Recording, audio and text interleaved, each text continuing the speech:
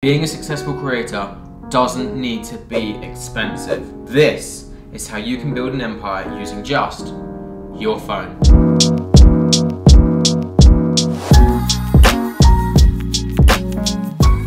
Here's all the different sections with chapters and timestamps so you can skip around the video and find what is best for you. So today's video is all about YouTube gear, or lack thereof, I should say. There's often a misconception that in order to start a YouTube channel and be super successful, you need to have all the latest tech and software or you won't succeed. Now this couldn't be further from the truth, particularly in 2023 where you've got YouTube Shorts, TikTok and Instagram Reels which are all designed around creating the video content from those apps on your phone. And sure, making high quality videos with a DSLR and microphone and everything is great, but sometimes all you need is your phone camera and yourself. But before considering any type of tech or gear decisions, begin by asking yourself the truly existential question. Why do you want to become a creator at all? And if none of the answers have to do with some kind of passion or desire for actually creating content itself, then maybe you might want to reconsider. The truth is,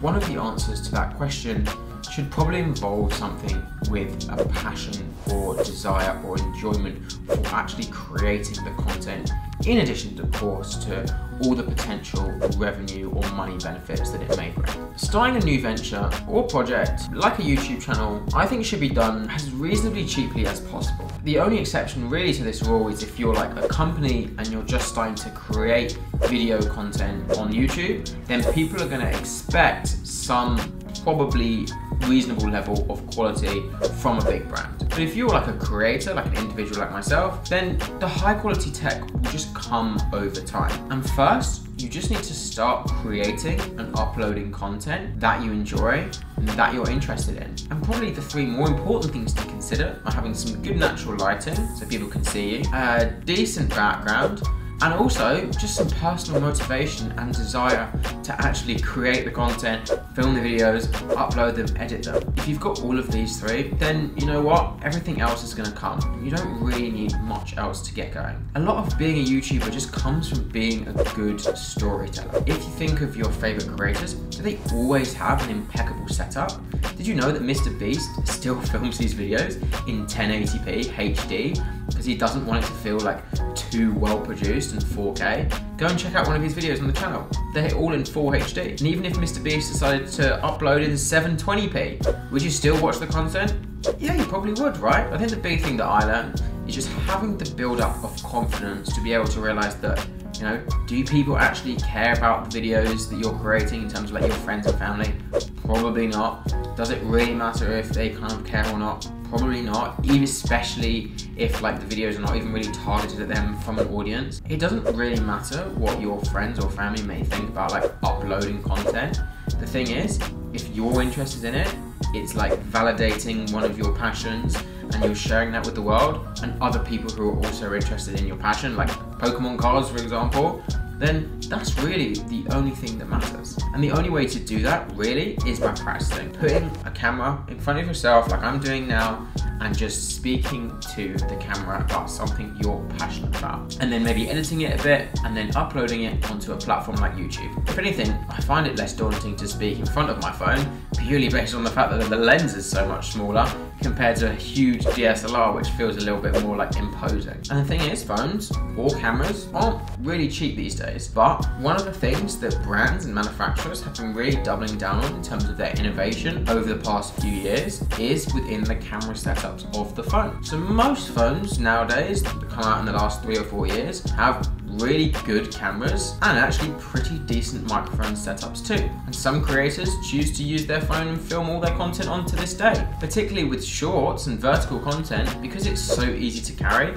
it's always on you and it's so great for vlogs. I know, for example, for me, that if I'm wanting to film a vlog or if I'm wanting to like go somewhere and film some content, but I don't want to feel like too self-conscious about it. Actually just like taking my phone or taking like this little DJI pocket thing that I actually got, it's just a really nice way of getting myself more confident and used to like vlogging or filming in public for sure. And also an advantage of filming the photos and videos on your phone is that they're right there for you to be able to edit if you're on a train or if you're on a flight or if you're in the car or you know you're just kind of on the move and you just want to get going, get editing something, get started with an app like CapCut, for example, which is a super popular editing app. I think the real upgrade that you can do with a phone setup is not necessarily in the camera department, but more around the mic. People will sit through and watch a YouTube video that maybe doesn't have the best like video quality, but they won't necessarily sit through a video with audio that is just really, really poor or really appalling.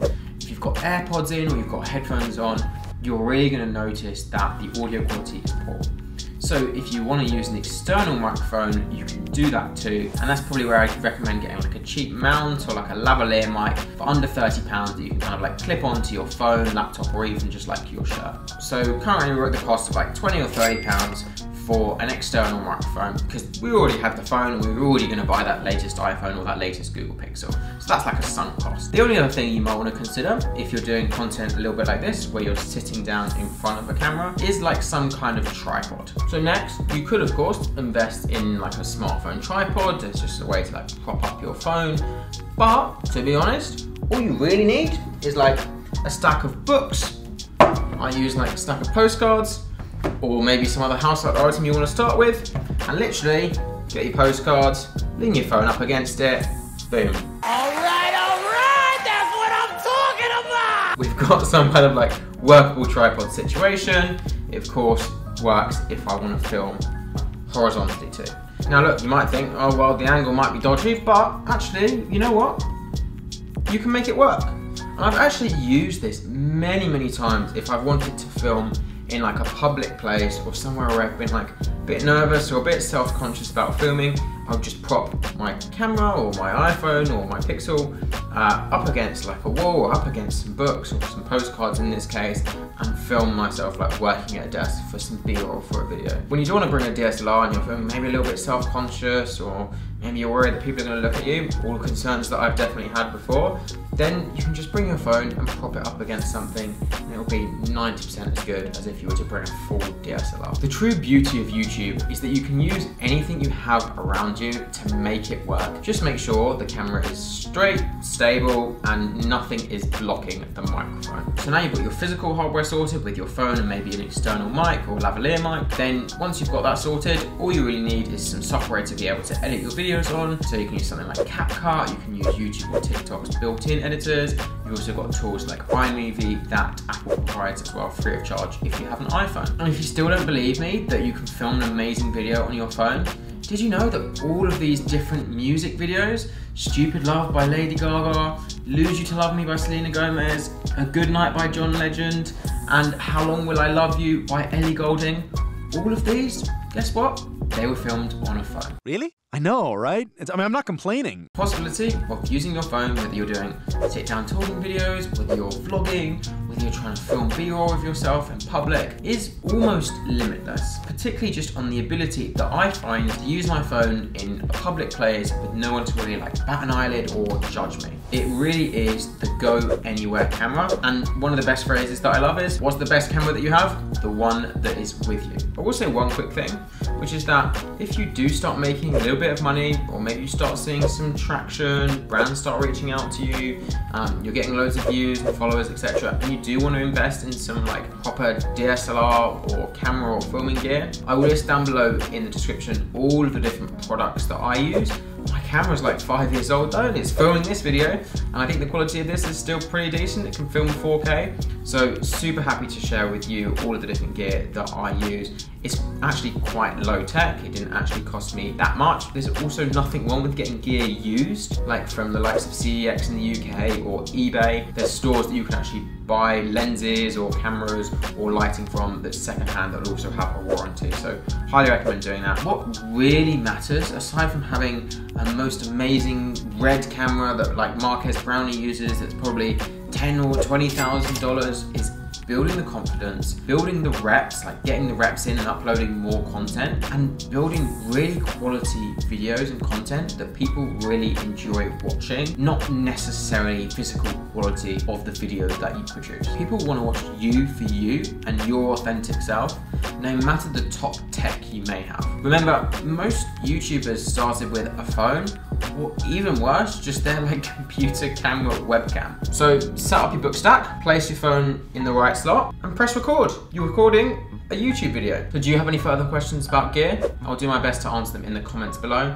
But let me just say one thing. Don't let gear be the barrier for you to start setting up a successful business in the creator economy this year. Because there is so many, so many, so, so, so many creators out there who are just using their phones and being really, really successful. So don't feel like you need to have a spare two or three grand in order to be a successful YouTuber. Thank you so much for watching this video. Check out this one to watch next. Subscribe if you're not already. Otherwise, I'll see you in the very next video. Thanks so much for watching. Bye bye.